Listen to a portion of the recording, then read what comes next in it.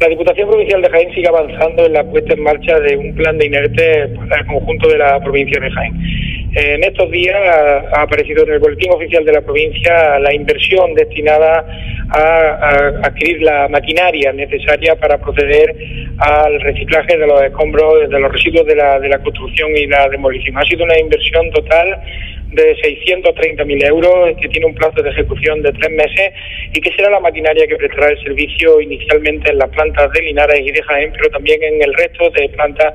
que la, que la Diputación Provincial va a tener a disposición de este plan de inerte para resolver un problema importante que afecta a todos los municipios de la provincia de Jaén. A esta inversión de 630.000 euros también eh, hay que añadir los 450.000 euros que se han destinado a la, compra, a la adquisición de, de contenedores, de contenedores de acopio de, de RCD de obra menor y que se van a poner a disposición de los ayuntamientos que así eh, lo soliciten a la Diputación Provincial. Eh, el volumen total de inversión entre estos dos conceptos supera el millón